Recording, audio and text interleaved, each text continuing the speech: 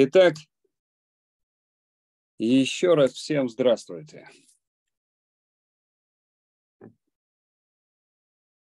Продолжим сегодня общение по предыдущей теме, по теме путешествия. И самым главным путешествием нашим является путешествие по жизни. Возникает вопрос. А ведь у каждого путешествия есть свое предназначение. А каким главным предназначением является для нас путешествие по жизни? И мы должны себе сказать, что главным в путешествии по жизни является это наполнение себя энергией любви, энергией счастья и энергией радости. Если кто изначально ставит другие задачи, то он их и получит. А если поставить задачи получения энергии любви, счастья и радости, то тогда мы будем стремиться к этому и получим то, что мы запросили у путешествия. Конечно, для того, чтобы получить или получить эти три позиции, любовь, радость и счастье, что для нас надо? Чтобы у нас были определенные знания и были определенные уже понимания. Потому что даже чтобы что-то открыть, что-то изменить, что-то познать в этом мире, надо уже что-то знать.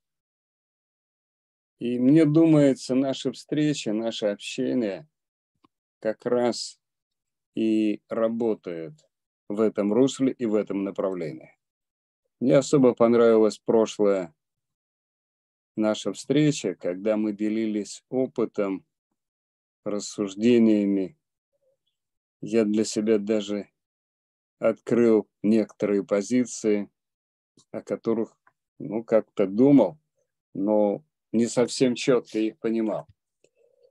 И вот эти наши действия, они раскрывают, дают нам определенные знания.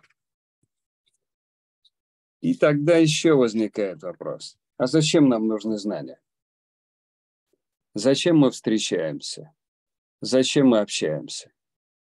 а для того, чтобы предвидеть, чтобы понимать, каким может быть путешествие, что в этом путешествии может случиться и как оно может происходить. И вот путешествие, путешествие по жизни, мы сталкиваемся с одной темой что по результатам путешествия мы попадаем или в ад, или в рай. Но когда начинаешь задумываться и смотреть на реальную жизнь, то ты начинаешь понимать, что ад и рай, он уже возникает в ходе путешествия.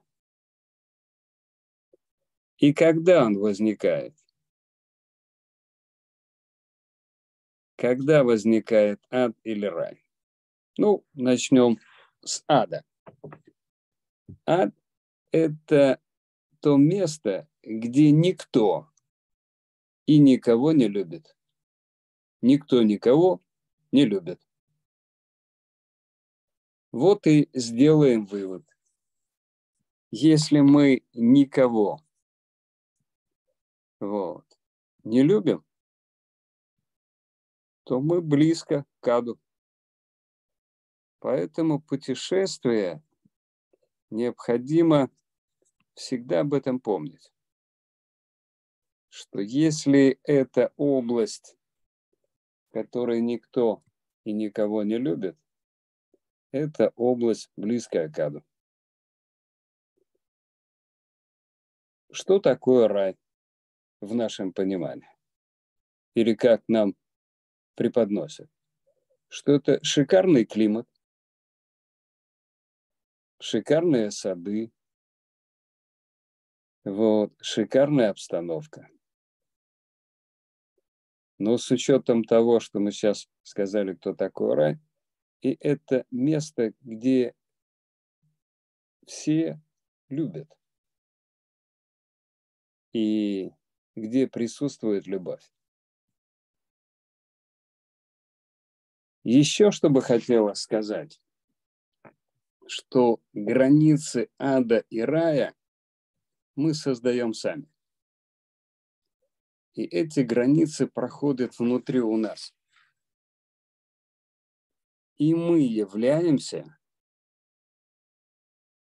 законодателями, создателями этих границ.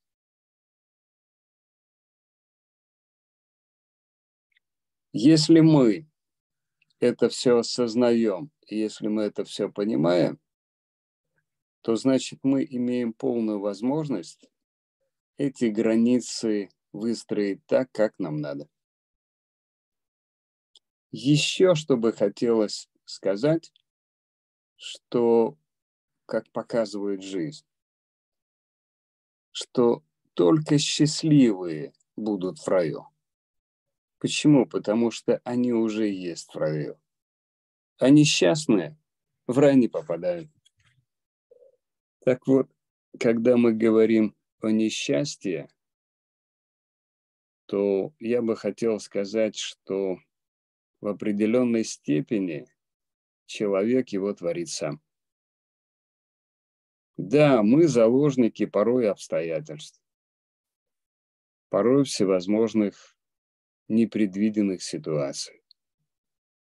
Но вместе с тем, вместе с тем, мы изначально все творим и создаем сами. Я бы хотел, чтобы наше общение было достаточно активным. Может быть, есть какие-то вопросы? Потому что я сказал. Или какие-то рассуждения с чем-то не согласны? По вопросам? Да, если все окей. Ну, все мне все понятно, я понял идею. Вот, так что так. Хорошо. Да. Теперь дальше. В ходе путеше... путешествия, конечно, каждого из нас связано или будет связано с браком. Так вот, в таком путешествии, в этом путешествии, вопрос брака, он должен четко осознаваться и пониматься. И там, где брак без любви, там обязательно возникает любовь без брака. Это такая позиция, она явная в жизни. Особенно это совершенно четко про... начинаешь видеть в ходе психологической практики. Что еще хотелось бы сказать, что нельзя найти счастье в браке. Э, слово само брак и заключение брака это не значит, что это уже все там есть счастье, и сейчас мы войдем в брак и будем находить счастье. Как показывает жизнь, счастье в брак надо всегда принести, чтобы он был красивый и интересный. И как мы говорили однажды, что не надо желать своему спутнику жизни и тем людям, которые вместе с вами путешествуют по жизни счастья. Надо просто стать для них самим счастьем. То есть мы должны быть для тех, кто с нами путешествует, счастьем. Конечно, путешествие сложно предвидеть, сложно предвидеть, но реально его создавать. Если мы решаем о том, что или как-то пытаемся заглянуть в это будущее и попытаться его предвидеть, то мы можем столкнуться с неизвестностью. Оно может нам не открыться.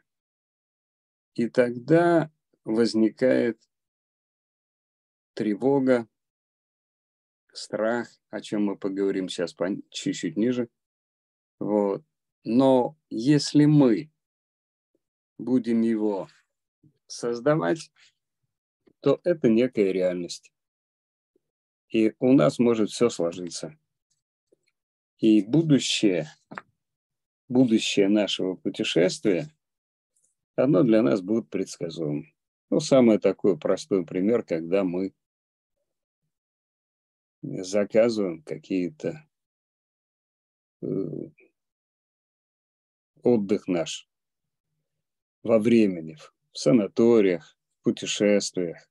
То есть мы ведь создаем, и мы представляем, что с большой вероятностью в такой-то день, такой-то час мы окажемся там. Так и все остальное – если мы что-то хотим в этом путешествии получить, или много радости, или много счастья, или много любви, то мы должны эту тему создавать. И так становится совершенно четко и понятно, что когда мы получаем знания о путешествии, мы начинаем видеть истину. И эта истина проявляется в этом путешествии. Но вместе с тем нас может подстерегать много такого нежелательного, вот, негативного. И может нас постигать так называемая неудача. Так вот, когда разбираешься с этим словом, то начинаешь понимать, что это слово совершенно четко придуманное. Придуманное, чтобы скрыть, вот спрятать истинные причины человека, приведшего, приведшего к так называемым неудачам. Потому что неудача связана с какой-то мистикой, с мистическим явлением. А на самом-то деле, ну, почему она связана, связывается с мистическим явлением? Потому что тогда человек четко себя оправдывает. Я бессилен перед мистикой, перед мистическими явлениями. Я ничего не смог сделать у меня ничего не получилось. А на самом-то деле, еще раз вернусь к этому определению, что неудача – это придуманное слово. Неудача связана с тем, что отсутствуют реальные знания, навыки и умения у данного человека. Поэтому если нам говорят, что он неудачлив, и у него неудачно складываются путешествия, то мы должны четко осознавать и понимать. Да у него отсутствует знания и отсутствует опыт. А стоит ли с таким человеком путешествовать по жизни? Стоит ли что-то делать? Поэтому, если что-то случилось, это плата, это плата за отсутствие знаний. У многих по жизни,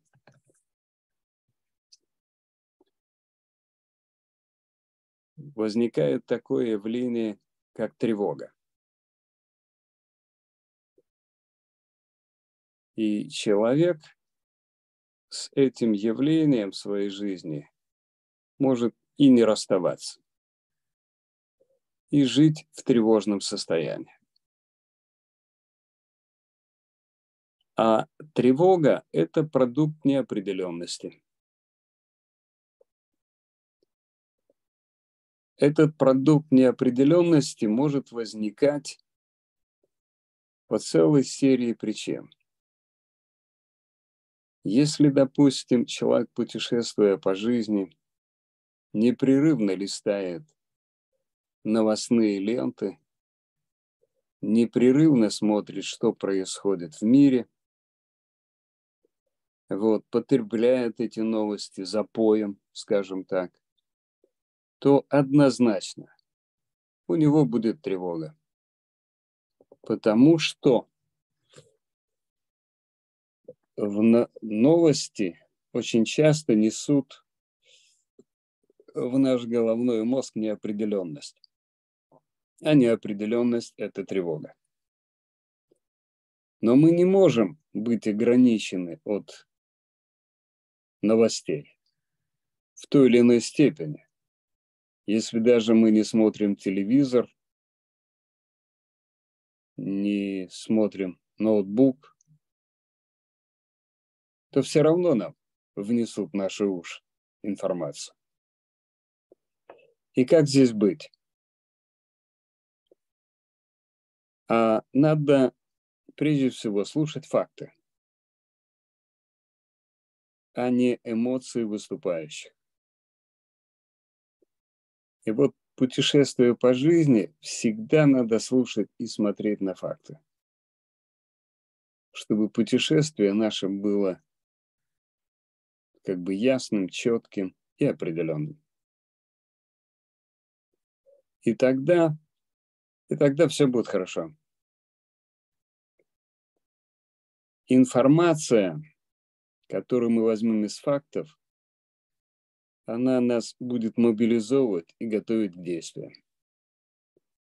А когда мы будем слушать эмоции выступающих, то эта информация будет вызывать у нас тревогу. Что приведет к нежелательным результатам. Поэтому, принимая во внимание факты, мы их оцениваем, осмысливаем и готовимся к определенным действиям. А факты, они есть, и они четко высвечиваются. Поэтому это очень хорошо усвоил Василий. Он не на эмоции действует, а на факты. И ведет себя соответствующим образом. И у него, слава богу, все получается. И я в этом отношении у него даже учусь.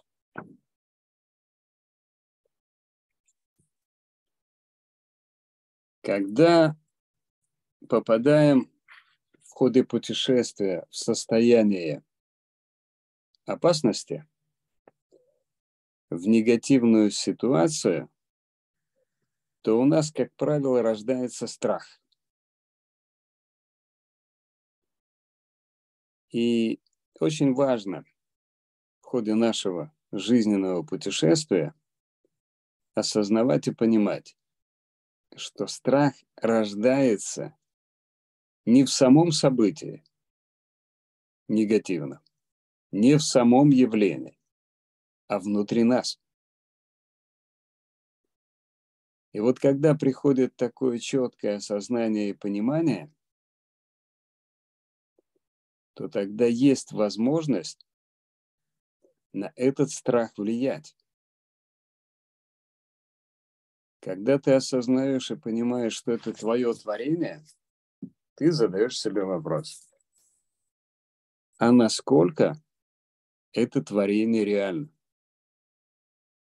То есть само событие, оно не рождает страхи внутри нас. Меня очень часто просят, иногда даже требуют и говорят, введите в меня, введите в меня в гипноз и поставьте блокировку всем, всем страхам, чтобы я больше не боялся.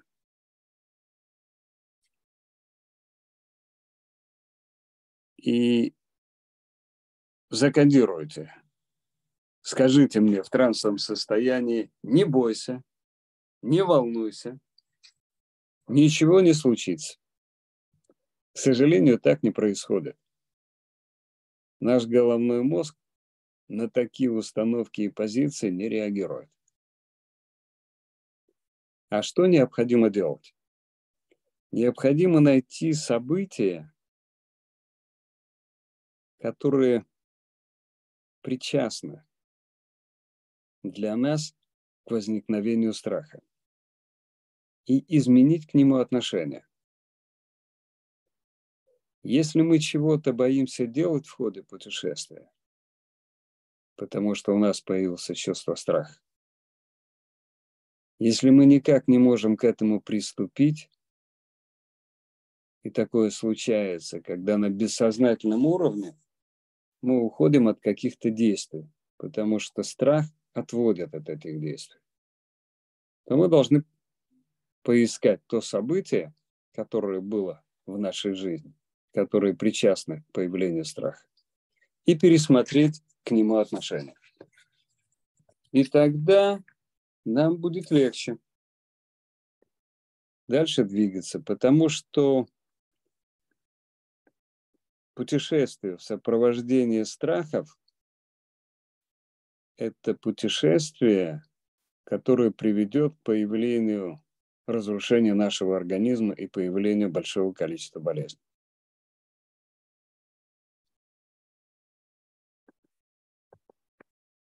Ходе путешествия мы должны себя занимать. В ходе путешествия мы должны себя создавать и творить себя. А не просто, как иногда бывает, человек в ходе путешествия просто загорает, хотя это тоже он себя творит. Вот. Но всегда, путешествуя, мы должны помнить, что создавая себя. Творя себя, мы однозначно готовим будущее. Поэтому, вступая в путешествие, надо сказать, каким я должен выйти из этого путешествия. Что я должен получить из этого путешествия. Чтобы в ходе путешествия ничего не упустить. Есть еще ряд вопросов, которые мы всегда должны понимать, что это такой первый вопрос. Это нам будут говорить, и мы будем иногда соглашаться, что в ходе путешествия будут непростые времена. И тогда возникает вопрос, а когда они будут простыми?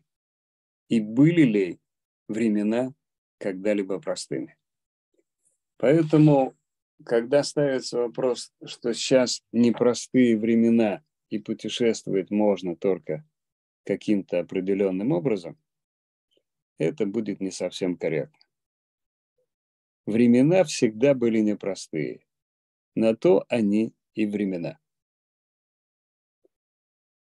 И каждый раз, путешествуя, мы не должны забывать, путешествуя по жизни, что главным для нас является любовь, радость и счастье.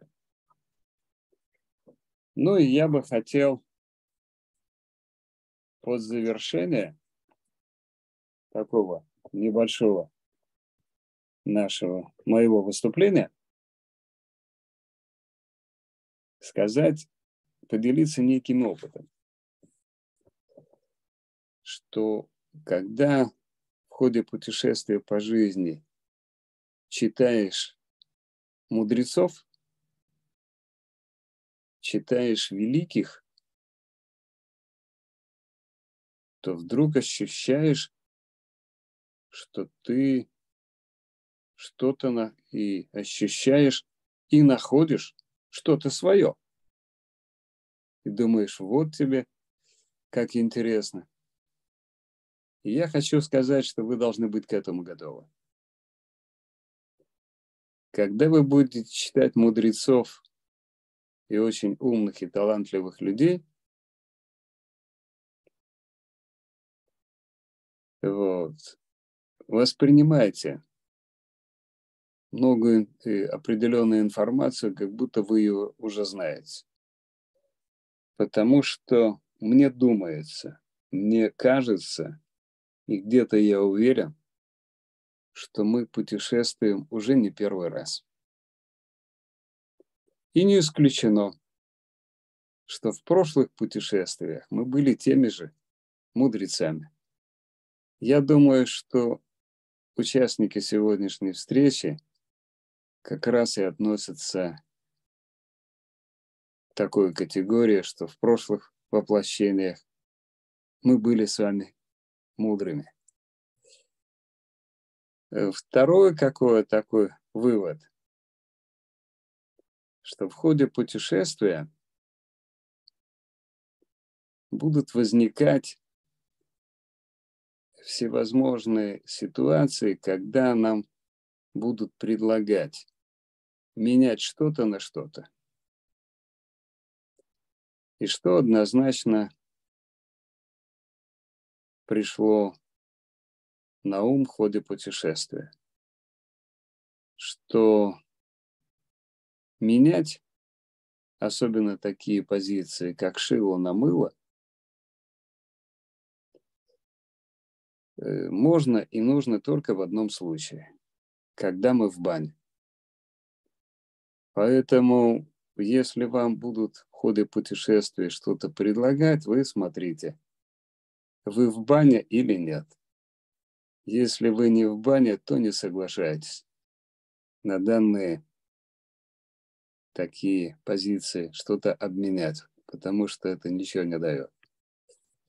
И еще хочу сказать, ну, как мужчина, где есть самые горячие женщины? Что показало путешествие? И как показывают путешествия, самые горячие женщины, они есть в саунах. Вот. А где самые горячие мужчины, я вот не знаю. Это надо спросить у женщин. И тогда, если в нашей компании есть женщины, пусть они нам на этот вопрос ответят. Спасибо. Спасибо, спасибо. В отпуске, конечно же, в отпуске, когда они не обременены работой, когда они отдыхают, вот тогда они самые горячие. Я понял. Во, вот, вы знаете, спасибо, спасибо. Это удивительный ответ. И очень нравится, спасибо. еще больше нравится наше общение, что мы можем поделиться какими-то позициями, которыми о которых мы раньше не знали. Спасибо. Спасибо, спасибо. Так. Тогда мы что, следующую тему закончим сегодня, следующую тему обсудим, да? Потому что у нас же было продолжение той темы, уже у нас получается да, больше, чем два часа. Было продолжение той темы. Да, про путешествие. Я думаю, что это хорошая позиция, что мы по воскресеньям собираемся. Даже мои соседи. Уже знают, да? Да, уже знают, потому что Николая до пяти беспокоить нельзя. А мне... Николая Банька, да, вечером уже? Да, вот. Поэтому вот там и можно будет менять шило на мыло. А во всех остальных ситуациях нет. Да-да-да. Хорошо. Хорошо. А. Так, вопросы кто-то еще задать хочет по этой теме? Или мы новую тему начнем? Давайте. У меня вопрос. А можно да. пример обмена шила на мыло? А то вот гипотетически, конечно, все понятно, а так вот о чем речь шла? Ну, тема такая, что обмен только можно делать в ходе путешествия. Того, что сейчас, сейчас я вот подумаю, внутренне понимаю это все. Может быть, какой-то из жизни пример, чтобы лучше понять, о чем Ну, вот, я вспоминаю одну ситуацию, когда я на трассе словил гвоздь. Причем гвоздь в одно колесо и гвоздь во второе колесо. И у меня два колеса были пробиты, а ехать надо было дальше. Я остановился и менял. Менял вот эти колеса на совершенно целые колеса, вот, с определенной доплатой. Вот здесь, когда есть такая необходимость. А так просто поменяться колесами для того, чтобы происходил обмен, этого не, не следует делать. Ну и еще вот, ну скажем так, менять свою жизнь на жизнь, которую кто-то предлагает нам, не следует этого делать. Мы должны исполнять свою жизнь и делать то, что, то, что нам интересно почувствовать свое предназначение, почувствовать себя. А очень часто бывает, когда нам предлагают другую жизнь, то есть обмен нашей реальной жизни на что-то другое. Вот. И тогда человек, из, поменяв свою реальную жизнь на чье-то предложение, приходит потом в конце концов к выводу, что этого не надо было делать. Но уже поздно. Ну, такой пример. Я недавно, у меня была на приеме одна женщина, она рассказывала, как в 90-е годы, став королевой красоты, получив корону, ей предложили совершенно как объясняли ей, райскую жизнь. Но чем этот рай мог для нее завершиться? Она узнала из уст одной девушки, которая обменяла свою жизнь на вот этот рай. И она вовремя спохватилась и не стала ее обменивать. И дальше у нее сложилось так, как надо. Поэтому вот менять что-то свое на предлагаемое кем-то, надо очень внимательно. И то, что мы имеем, и то, что мы имеем, обменять на то, что нам предлагают, не всегда, не следует. Ну, как-то так вот. Если я ответил.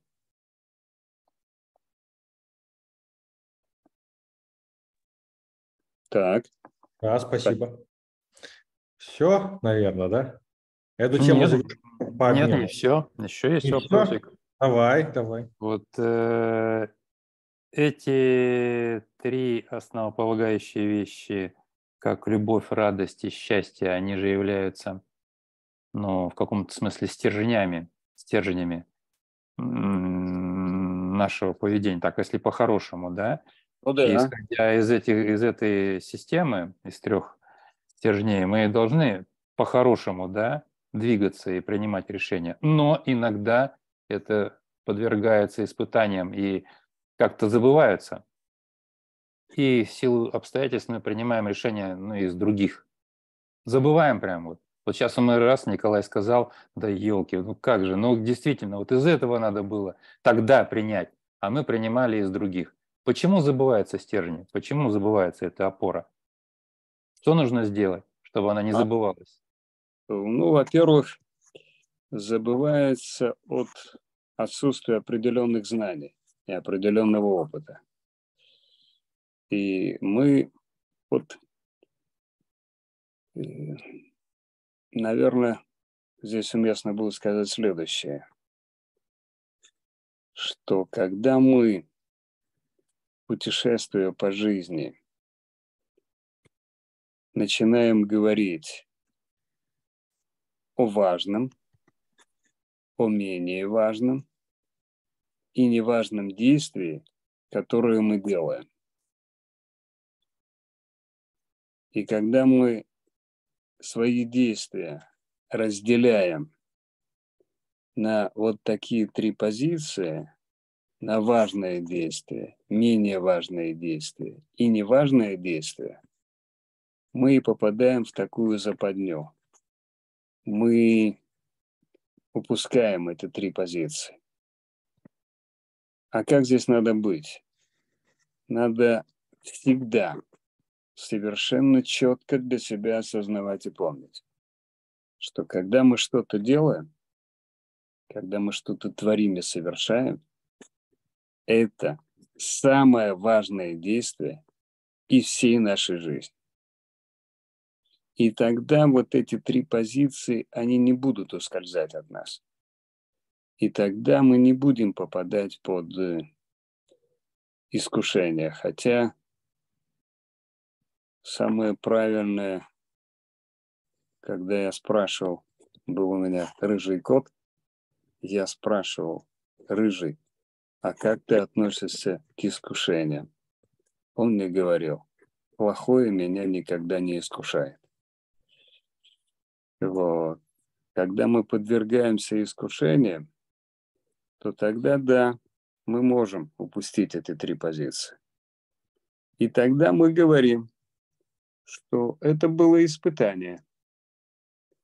А на самом-то деле надо эту тему просмотреть, когда не возникает испытание, что это такое. Но в любом случае, в любом случае, если у нас будут знания, и будет истинная информация, и будет истина, то мы не будем допускать. Вот. Потому что очень многое случается из-за отсутствия знаний. Даже еще не столько из-за отсутствия знаний, но еще и из-за отсутствия понимания, как эти знания действуют. Ну, где-то как-то так. Да, спасибо.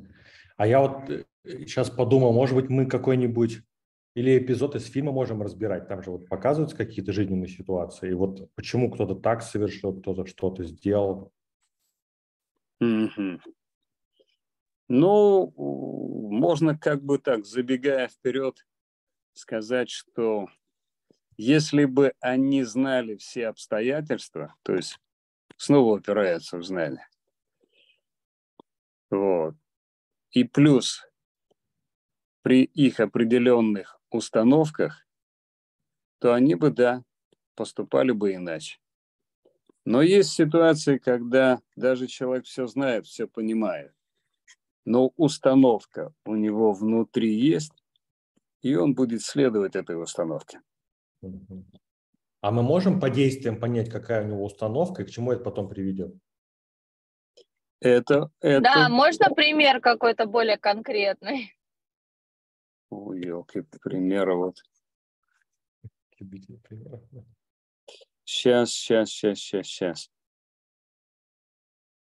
Сейчас. Ну, вот это самое такое. Вот. Приехала женщина на прием к одному специалисту, а я был свидетелем этого приема. Он вышел в коридор и говорит, ты знаешь, я ее брать не буду, я ее не приму. Вот. Я, конечно, посмотрел на нее и понял, что, ну да, тяжелый случай. Вот. Но я говорю, ну, коль она приехала, ну, хоть какое-то внимание ей надо уделить. Вот. И я начинаю с ней общаться. И совершенно четко выявляется в ее сознании, что у нее жесткая установка, что только ее надо ввести в гипноз, и все болезни вот, в гипнотическом состоянии запретить. Убрать и запретить. Ей сказал какой-то специалист и так далее. Я начинаю с ней общаться бесполезно, потому что у нее жесткая установка. Убрать и запретить. Но в, данном, в данной ситуации все-таки есть определенный выход. Я предложил еще раз пообщаться, и вот мы с ней общаемся. Я ей предлагаю взять в руки ручку и бумагу. Она берет, и мы с ней общаемся по видеосвязи. И я ей диктую.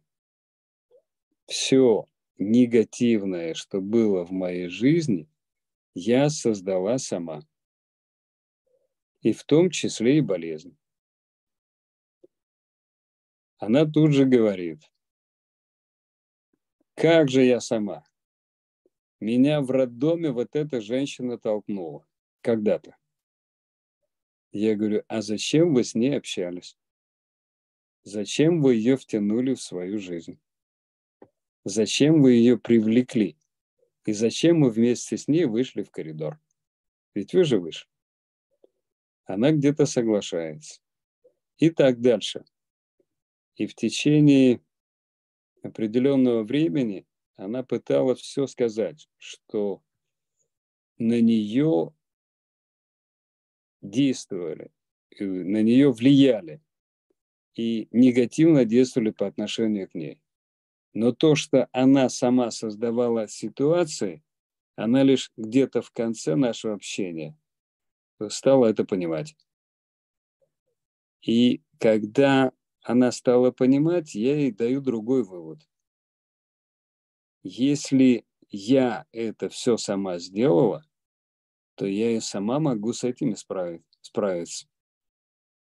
И я в последующем не буду допускать эти вещи. И вот таким образом, таким образом мы сделали как бы подвижку в, казалось бы, неразрешаемый вопрос. Потому что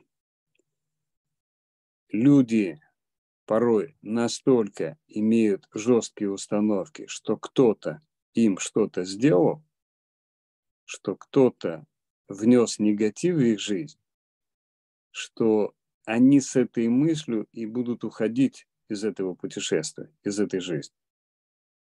И так они ничего, ну, как бы позитивного не смогут получить. Если попадаются по жизни такие люди, которые однозначно убеждены в том, что кто-то виноват в том, что у них произошло. Виновата Вселенная, виновата сама жизнь, виноват кто-то, вот, то тогда с этими людьми, ну, можно много потерять времени, общаясь и работая, пытаясь им помочь. Если возникает такая возможность, то да, можно помочь. А если придется потратить на этого человека все свое путешествие, то, наверное, не стоит. Ему так, ему так легче. Вот. он вот такой. Хотя всегда надо стремиться к тому, чтобы как-то оказать помощь и содействие. Вот еще такой момент интересный. Вот ко мне обратился молодой человек, молодой мужчина.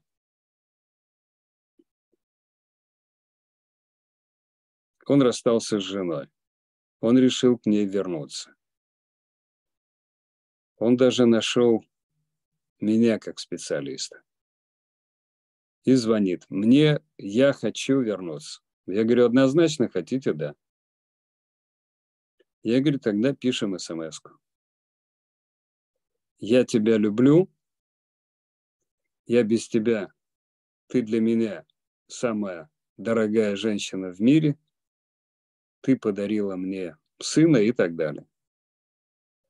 Он мне и говорит, я писать подобные смс не буду. Потому что я начинаю под нее прогибаться. Я говорю, ну вы ее любите? Да. А почему не можете написать?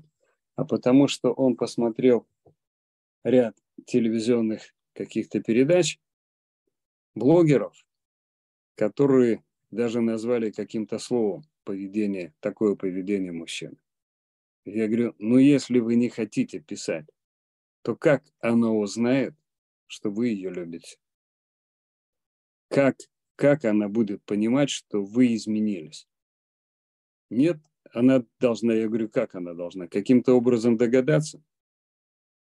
Или вот, э, скажем так, еще одна такая позиция. На приеме женщины, и вот мы разговариваем о ее замужестве. Вот все вокруг да около у нее получается. Мужчины в жизни ее есть, а выйти замуж она не может. Мы стали разбирать ситуацию, оказалось, что было несколько мужчин, которые все были готовы на ней жениться, предложить ей руку и сердце. Но они все, они все были ею выставлены из ее жизни. Мы стали разбирать тему, почему выставлены были из жизни. Она говорит, ну он же мужчина, он же должен это знать, он должен уметь эти вещи делать. Я говорю, а кто его учил? Или он был на каких-то курсах? А он вырос в такой семье, где этого не было. И он об этом не знает. Она что в таких ситуациях делать? Я говорю, что делать? Надо в каждом конкретном случае разбираться с человеком и четко понимать, что у него это есть, этого нет. А если этого нету, то надо это дело внести. Если вы хотите, чтобы у вас было все как бы э, решено, то определенные позиции надо создавать в данном претенденте на путешествие вместе с вами. Вот. Она, а как? Я говорю, как? Если вы будете воздействовать на него, то у вас может ничего не получиться воздействуйте на себя, меняйтесь определенным образом, формируйте себя, и тогда он это посмотрит и возьмет на вооружение. Не запутал вас, нет? Нет, нет, все интересно, да. Спрашивайте.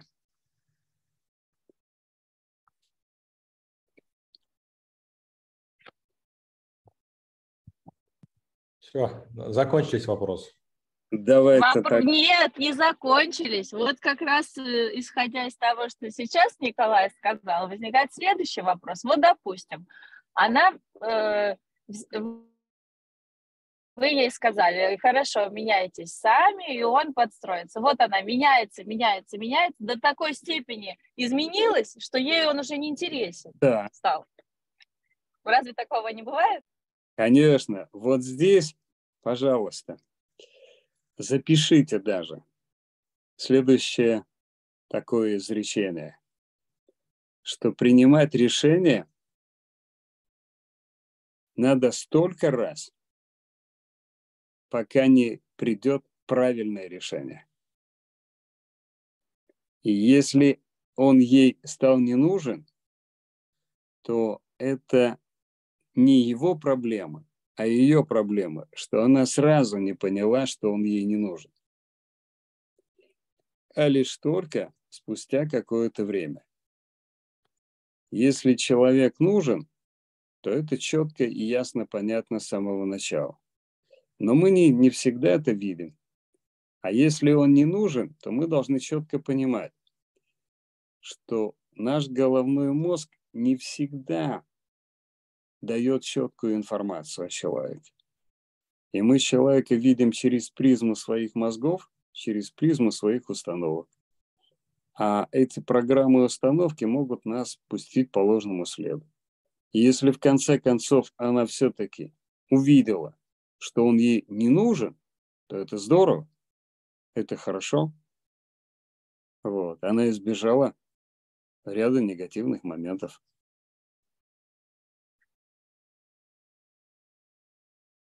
Так что как-то так. Вот, в чате вопрос. Да, прочитай. От Екатерины. Добрый вечер. А что делать с людьми, у которых такие неправильные установки, но они твои родственники? Помогать, не помогать, отойти в сторону?